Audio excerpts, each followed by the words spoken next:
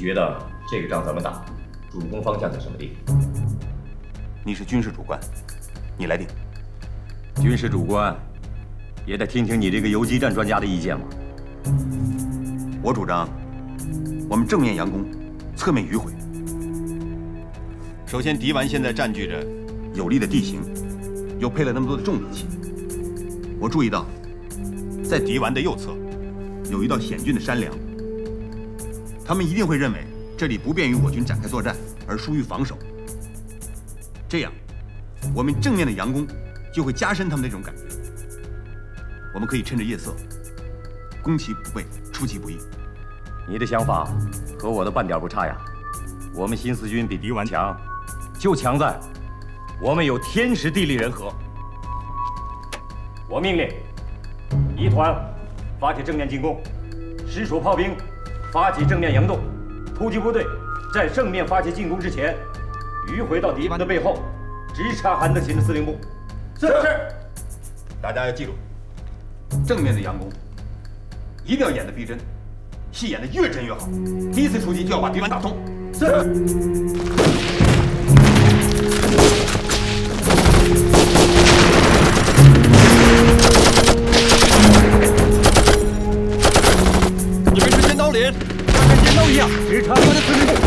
韩德杰，是，跟我来。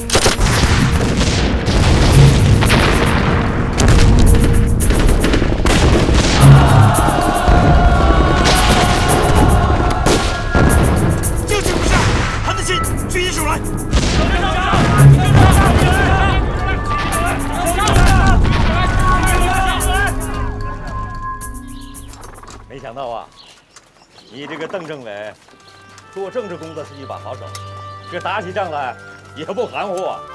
韩德勤这小子够背的，当年在瑞金的时候你就抓过他一次，这次又自己送上门来。老邓啊，这次一定要枪毙这个顽固派，我可不想抓他七次。雪峰啊，如果从咱们个人感情上讲，毙他一百次我都高兴。为了抓他，我们牺牲了那么多的同志，但是我也在想，这个事情我们要慎重。必须要等到中央和华中局的电报才能定。这个韩德勤，泼皮无赖一个，现在还跟我们闹，让我们把武器和电台还给他，还要一块地盘，还要让陈毅同志给他发电报，解释说这是误会，他还有道理。我一看到他这副嘴脸呀，恨得手都痒，恨不得上去狠狠地揍他一顿。枪毙韩德勤这样一个光杆司令。对我们来说，现在是举手之劳。可是我想，如果我们给他一条生路，能够堵住蒋介石的嘴，让他们暂时找不到进攻新四军的借口，那么这条拔了牙的恶狗，对我们还是有点用处的。政委，刚才那家伙还想自杀呢，不停地嚷嚷着要吞洋火呢。还有这事儿？彭源，到，去，给韩德勤多送几包洋火，就说邓子恢送给他的。政委。这，听着，出不了事儿，出了问题我担着，去吧。是。想起吃洋火头自杀了，把自己搞得还挺有气节。他要真那么有气节，在战场上就自杀了。当年彭师长抓住他的时候，他自己扮成了个伙夫，骗了我们两个大洋跑的。他现在还不嫌丢人？走。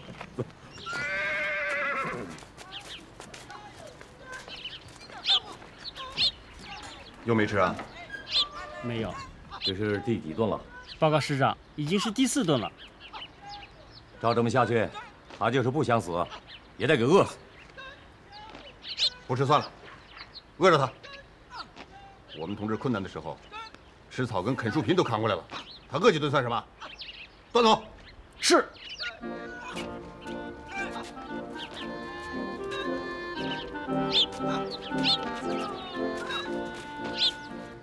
部队啊，要在这进行休整，看怎么样？好啊。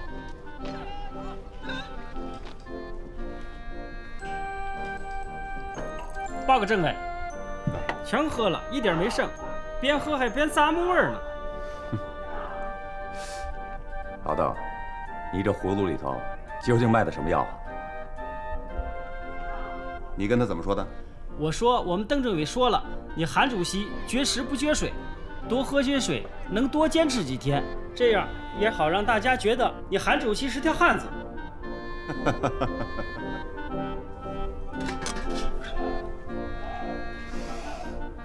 挺香的，哎，像是鸡汤啊。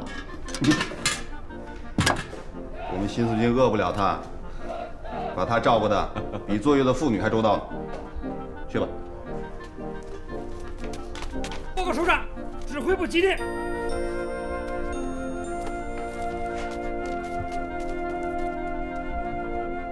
陈毅军长与韩德勤谈判，并于恰当时机予以释放。攻城为下，攻心为上。中央这步棋走得很高，中央的决定和你的意见不谋而合呀。可就是便宜了韩德勤这个老混蛋。雪峰，不用着急。如果韩德勤回去之后还想继续搞摩擦，用不着七擒孟获。下一次我们就跟他算总账。好。国民党潘伯部近日连连溃败，三十七天之内。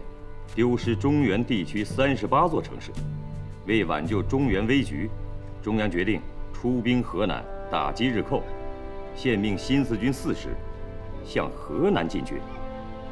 这么说，四师要回河南老家了。啊，还有呢，中央决定让你继续留在淮北路东，继续坚持稳固抗日敌后根据地。完了彭师长，这回没人跟你做鱼吃了。老邓啊，等我把中原的日本鬼子赶出中原，也就是我们相见的时候，到时候呀，我请你到河南给我做鲤鱼吃。好，到时候我们做黄河的大鲤鱼。好，那我们一言为定。同志们，三年前我们忍痛离开了路西。三年后，我们又要打回去。三年来，我们枕戈待旦，身经百战，终于盼来了这一天，打回路西，打回中原，解放所有的父老乡亲。为了这个理想，我等纵然战死疆场，也定会在所不辞。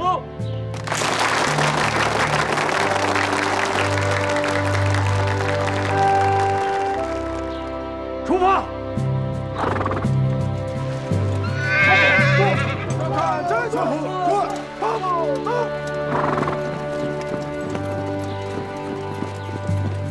雪峰，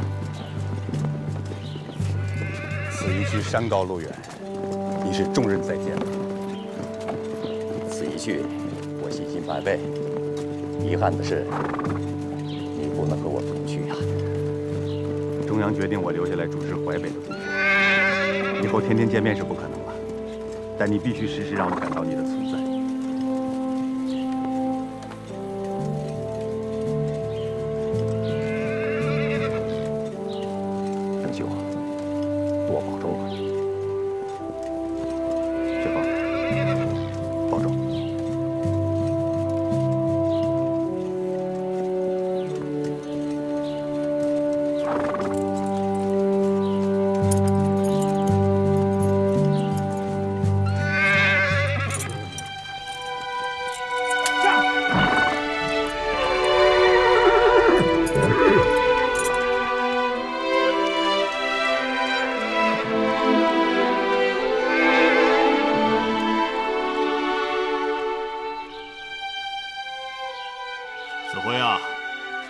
淮北，你没什么意见吧？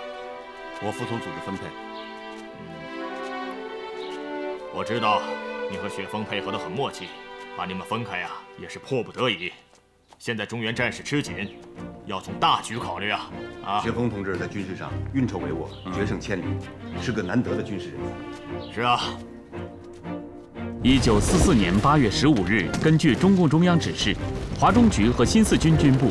决定由彭雪枫、张震、吴芝圃等人率主力四个团执行西进任务，邓子恢、刘瑞龙等领导两个团和地方武装坚持在淮北路东根据地配合支援主力西进。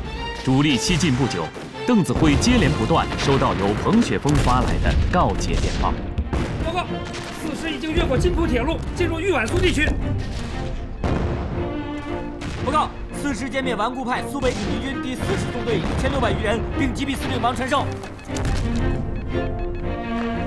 报告，四师夺取萧县、永城、宿县的广大地区。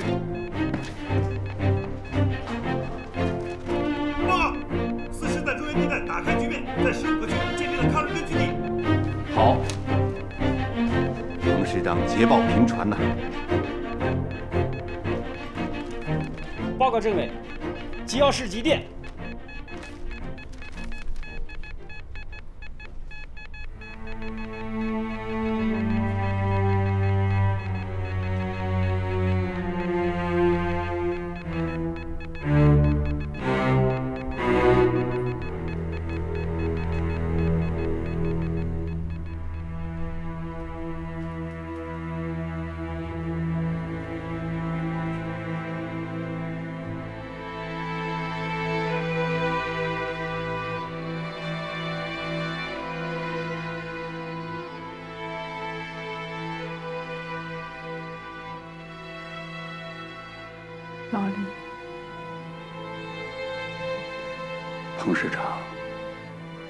生于七里庄，逝于八里庄，万里征程浓缩成了人生的一里路。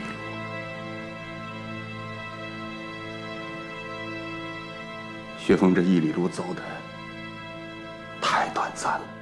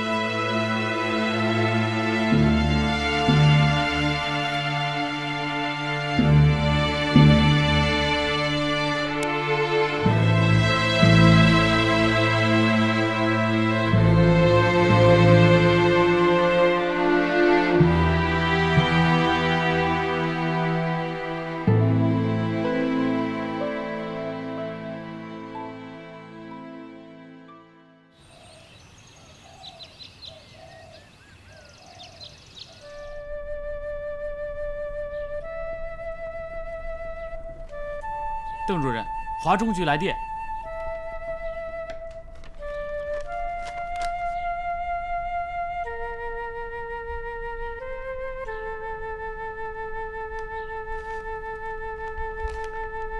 你看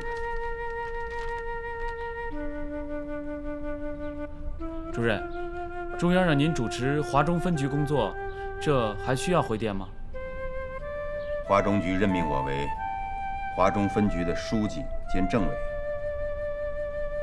实际上，我个人认为，合适这个位置上的同志有很多。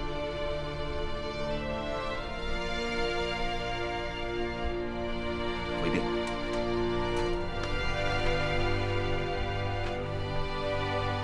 华中局并呈报中央。鉴于华中局任命我为华中分局书记兼政委一职，经个人慎重考虑，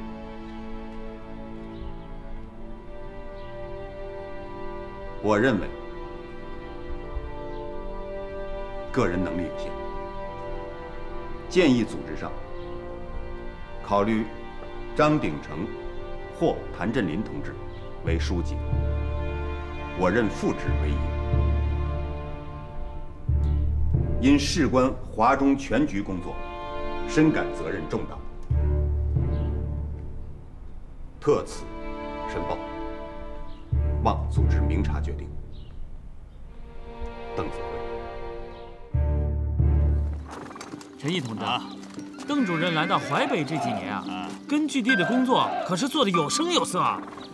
中央对我们根据地啊，还有邓主任的工作啊，那是褒奖有加呀、是啊，在讨论和酝酿出席七大的代表时，少奇同志强调，共产党员和党的干部要加强党性的锻炼。哎，一句话呀，就是要有党德。哎，对，哎，参加七大呀，就要选像邓子恢、张云逸这样有党德的优秀党员参加。哎，少奇同志可是第一次用“党德”这个词来概括优秀党员的光荣品质啊！子辉啊，子辉，子辉啊，陈毅同志，哎，你好，你好，陈军长，你怎么来了？我怎么就不能来啊？没有，是没有想到。不要见怪啊，你这个贤内助当得好啊，我还要表扬你呢。陈毅同志，啊，我也要感谢他。嗯，我回到家里啊，是什么都不管，什么都让他做了。是啊，没有你这个贤内助，子辉怎么能去打鬼子呢？所以抗战胜利了，也有你的功劳啊！啊，瞧您说的，我能有什么功劳？哎呀，抗战也胜利了，你有什么愿望啊？抗战是胜利了，可是国民党蒋介石还不愿意和平，我就希望啊，能彻底消灭反动派，让我们老百姓能过上好日子。哎，那么对子辉有什么要求啊？他呀，我就是希望他能爱惜自己的身体。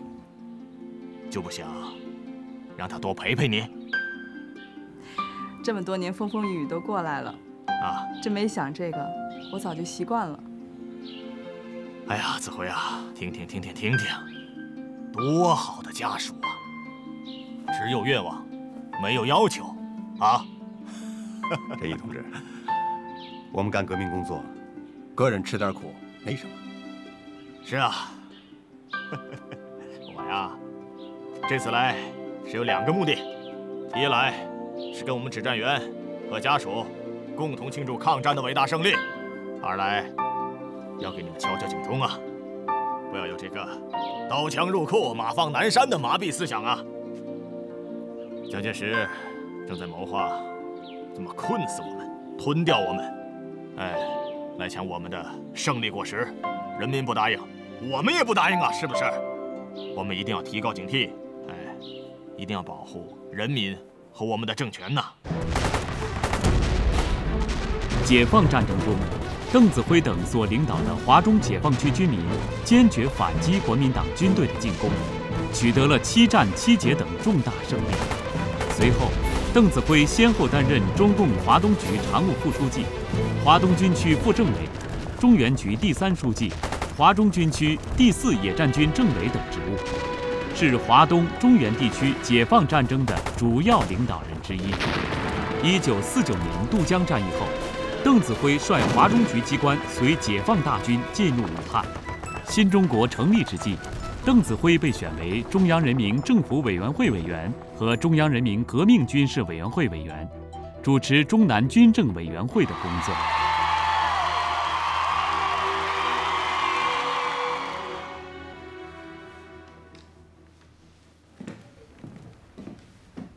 邓书记，啊，时间到了。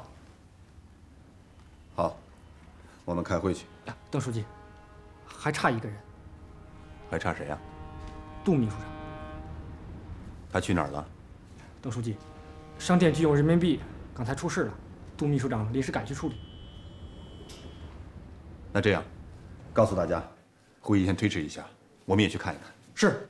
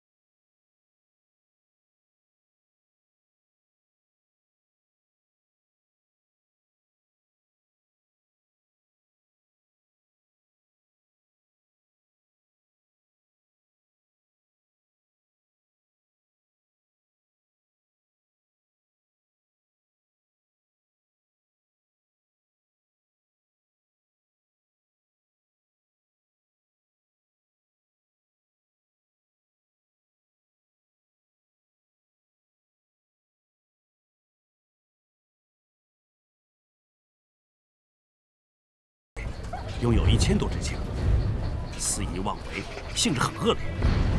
这都是我们需要亟待解决的问题啊！来，金弟，快坐。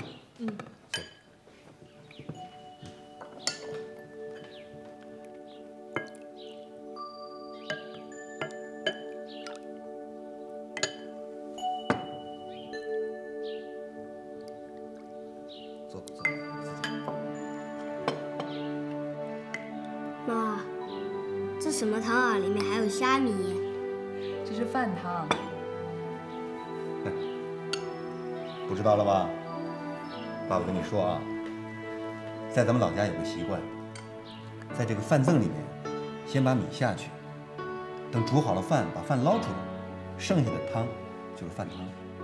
在咱们闽西老家都喜欢用饭甑煮米饭。爸，饭甑是什么东西啊？饭甑是一种长得像圆筒一样的那种瓦罐，等将来有机会你们回闽西就见到了。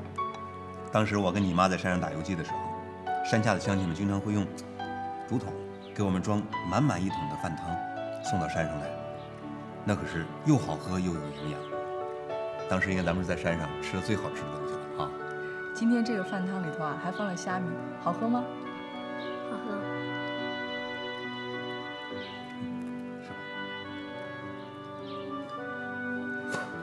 有沙子。怀成，现在很多人连米都买不到，你还能吃饱饭，不能浪费粮食啊！啊！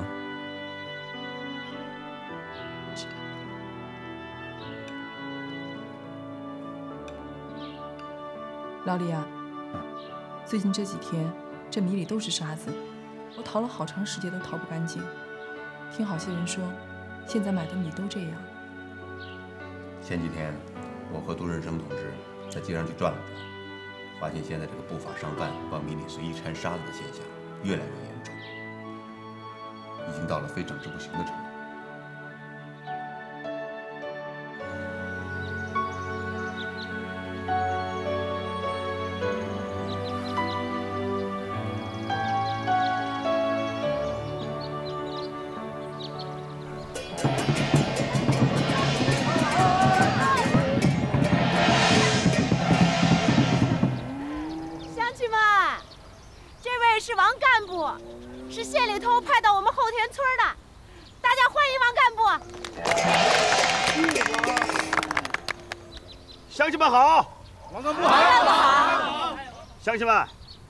解放了，咱们劳动人民翻身做了主人。可光翻身不行啊，这腰杆子得硬起来。话是不错，可怎么才能把腰杆子给硬起来呢？啊？得吃饱，乡亲们说对不对啊？对对对，得吃饱。要吃饱啊，就得有房、有田、有牛。今天我就是代表上级领导来给大家分田、分房、分牛的。大家欢迎，走，我们分东西去。走走。大家都不怕郭老哥，这新中国都成立了，你跟秀嫂的事儿怎么样了？什么事儿？你没看他跟那新来的干部搞得很熟吗？人家是干部，吃什么醋啊？放心吧，是你的就是你的，谁都抢不走。我吃什么醋？李二狗有。牛一头。我有地了，我有牛了。哎呀，不老。在在在。好房三间。郭老哥。我牛一头。太好啊！咱家有地了，咱有牛了，有牛了，有地了，有牛了，谁发心啊？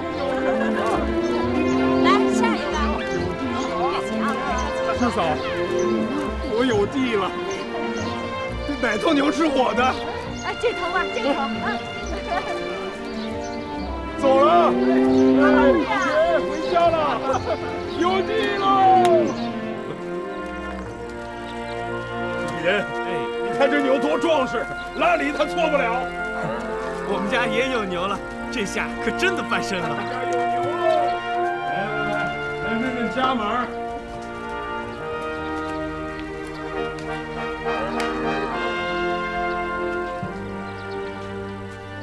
钱啊？哎，咱们家地也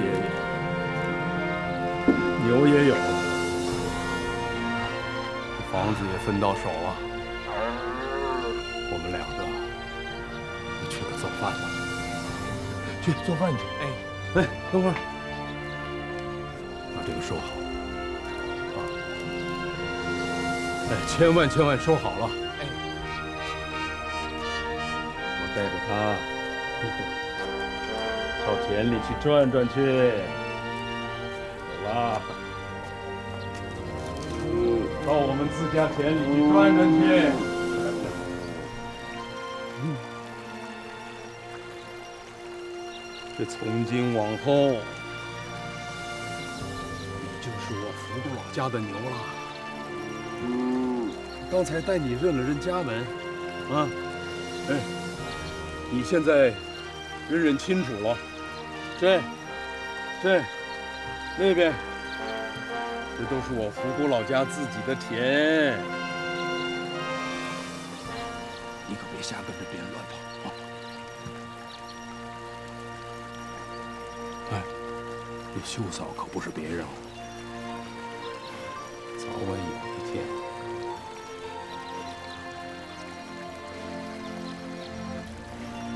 秀嫂家分的那头牛，要是公牛就好，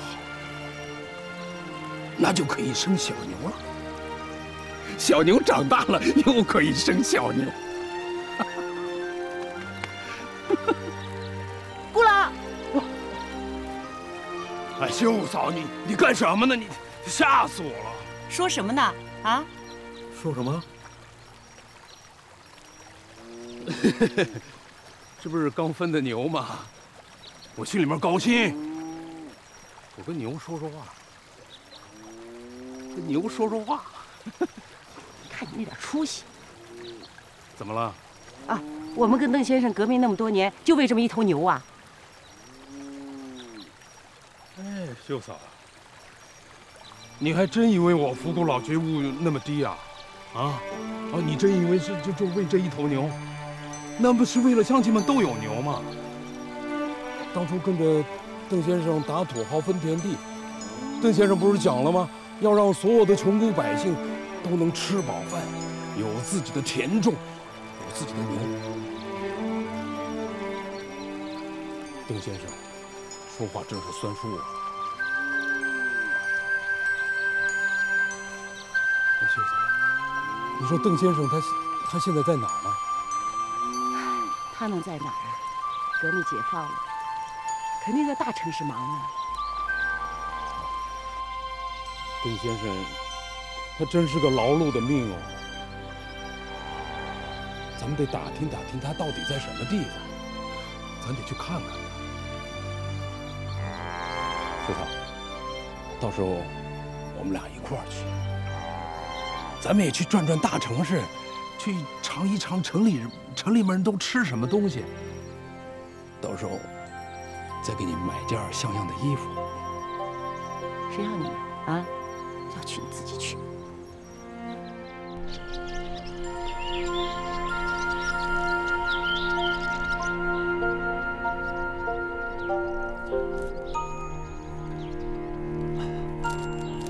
邓老，你看，去年的粮食之战、银元之战、纱布之战和剿匪反霸都赢得很漂亮。武汉各界对中南军政委员会减租减息和土地改革工作都给予了很高评价。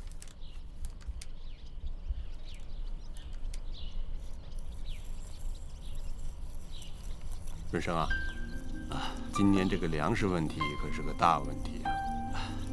是啊，连年战争的破坏，这刚刚解放，百废待兴啊。去年先是春旱，然后又是秋涝，夏季又遭受了罕见的虫灾，光我们中南局就有两千两百六十六万亩土地受灾，受灾群众已经达到了八百七十五万人。到了春夏之交，恐怕青黄不接，要闹粮荒的。另外，这个兴修水利的事情，我们也要抓起来。长江三峡下游的荆江段，在汛期水位可以达到高出地面十几米，经常是人在水下走，水在屋顶流。那哪行啊？这严重的危害着两岸人民的生命安全呐。这个，尤其是荆江北岸，素有“万里长江险在荆江”之说。我也听说过，“荆沙不怕刀兵动，只怕南柯一梦”中的民谣。当地人民每到汛期来临的时候，就会提心吊胆的过日子。为了解决荆江不能安全泄洪的问题，长江水利委员会已经向主席和总理分别呈报了关于荆江分洪工程的工程计划。那太好了！荆江险段要修建防洪工程，这可是新中国成立以后第一座大型的防洪工程啊！嗯，这是造福荆江两岸五百万人民的大事啊！哎，你把那个中南军政委员会的水利部长林林山同志帮我找一下。那约在你办公室吗？呃，让他晚上到我家里来吧。好，我马上通知。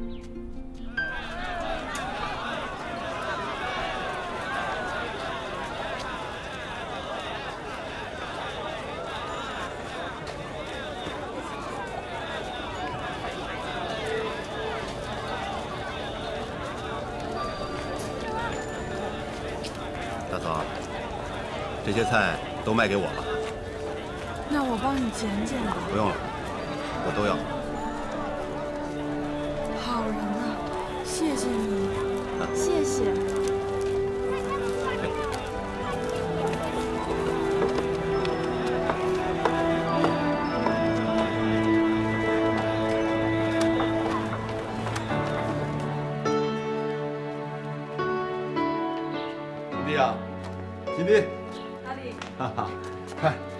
收获颇丰啊啊！你呀，又把那些人家卖不出去的菜都买回来了吧？这菜怎么吃都是个吃，好好摘摘可以。你忘了今天晚上要请一山同志吃饭，这个菜啊，可有的我摘了。这不还有我吗？还有孩子。哎，怀生啊，来，小梁过来，一起跟爸爸摘菜啊！哎，哎，怀生还要写作业呢，回去写作业去。我也要自己动手丰衣足食。嗯哥哥哥哥，我也要自己动手丰衣足食。对喽，我们全家都应该丰衣足食，自己动手啊！来，嗯，好，去给爸爸拿个盆子来。那。在那柜子呢。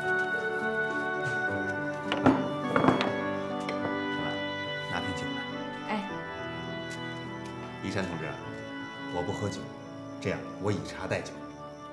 邓书记，你不喝酒，我也不喝酒了，我也喝茶。别，少喝一点。哎，邓书记，我喝茶。大姐，和孩子们一起坐吧。不用了，你们先坐着，我还得忙别的去。让他们吃他们的吧。那这样，咱们今天啊，就君子之交淡如水啊。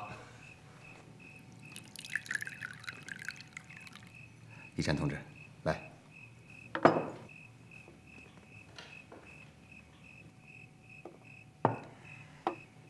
你也是个南下的同志，一个北方人，不知道我们家里这种南方烧菜的方式，你是不是吃得惯呢？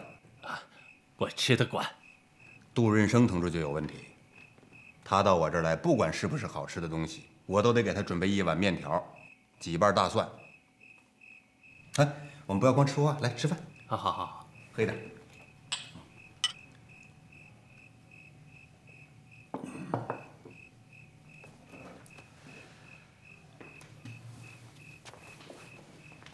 来，你坐。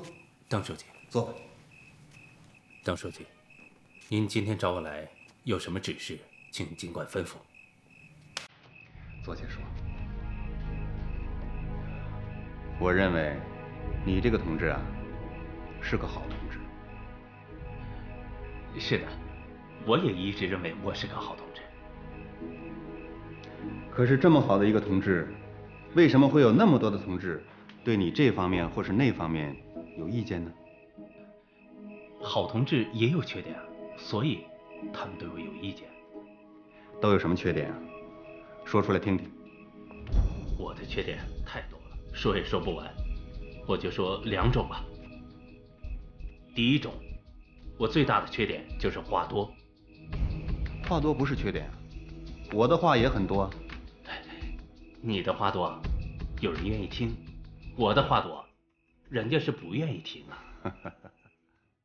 好，还有什么是自认为的缺点？都说出来，我听听。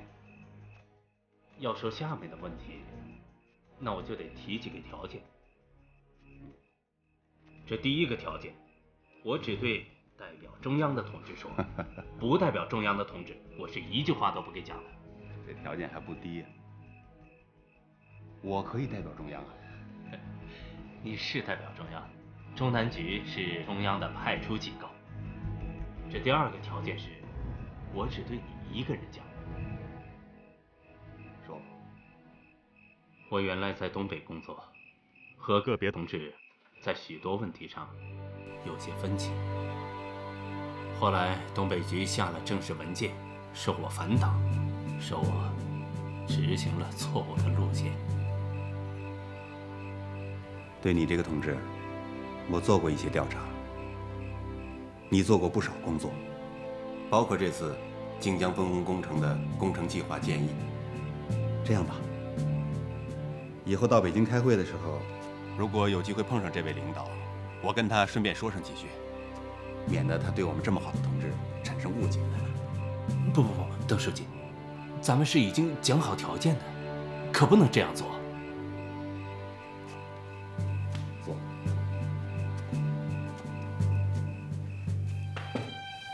一山同志啊，毛主席已经亲自审阅批准了长江水利委员会报请中央的关于荆江分洪工程计划。